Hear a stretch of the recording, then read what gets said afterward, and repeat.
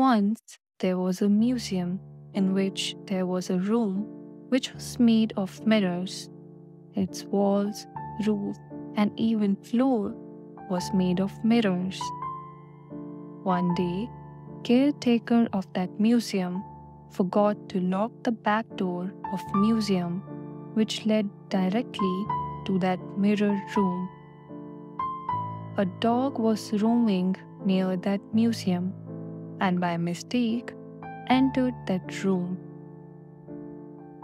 When dog was in middle of room and saw its own reflection and thought of it as that a whole pack of dogs were surrounding him from all sides. Seeing this, dog got scared and started to bark at reflections. Dog could see all the reflections barking at him in same way and because of mirrors dog ego back after hitting at mirrors and got magnified. Frightened by it, dog started to bark frantically. Next morning, when museum guard entered the hall, there he found lifeless body of dog.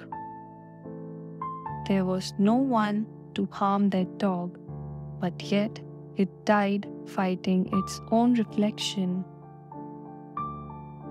Moral Everything around us is reflection of our own thoughts, feelings, and actions. World acts like a big mirror, so always try to be positive and good to others.